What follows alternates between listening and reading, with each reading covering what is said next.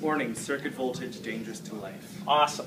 So what this is is a very um, dangerous Mickey Mouse together little apparatus. I do have a safer one, but it doesn't work as well, so I don't like using it. And uh, when Patrick plugs this in, all the metal, exposed metal here, is actually live and actually exposed. So if I were to touch this, then I would be well, possibly killing myself. But you'll see some, uh, you know, I'll probably wet my pants and start foaming in the mouth or something.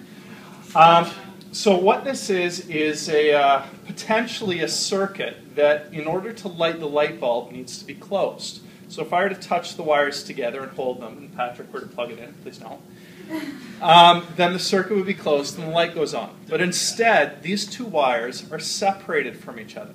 And if you were to plug it in, and plug it in, and then, uh, yeah, plug it in. Does the light come on? No. Please unplug it. And that's because the current can't pass between those wires. Now, if I were to take this and put it into some distilled water, which this is, and you were to plug it in, do you see the light bulb lighting up? No. And what is that? Unplug it, please.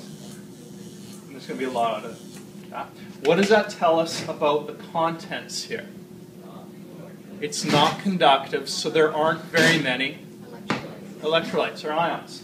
So now I have two different materials that dissolve quite well in water, sugar and salt. Now, sugar, what kind of compound is it?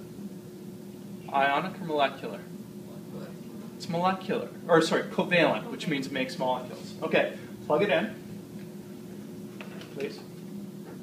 We're going to dump the sugar in, and do you see any light?